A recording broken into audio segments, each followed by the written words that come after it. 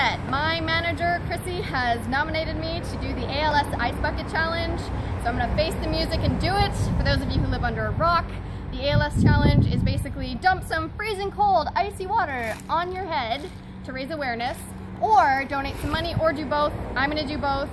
And now the fun part, I'm gonna do some nominations. So if you're watching this video, consider yourself nominated, but specifically I'm gonna call out Cody Salyer, Taylor Chapman, Janae Anderson, Haley Eaker, Chris Harris, Dwayne DeZoza, Heather Davis, Bernardo Bamberg, John McLeod, and Caitlin Permain. So you have 24 hours to do this once you've seen the video.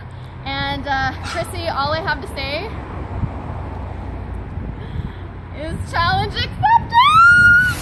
Oh my god! Holy shit!